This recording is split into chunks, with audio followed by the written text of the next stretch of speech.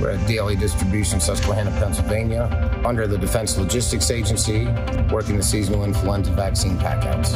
We send out roughly 3.4 million vaccines globally to service members, their dependents, and veterans to execute the seasonal influenza mission, uh, DLA Troop Support, DLA Distribution, Defense Health Agency, all collaborate with the service members to get the requisitions released and the prioritization needed to the locations required.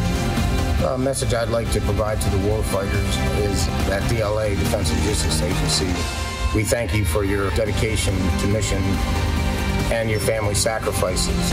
We take your health and well-being very seriously in executing our medical missions annually and hope only nothing for the best for you and yours.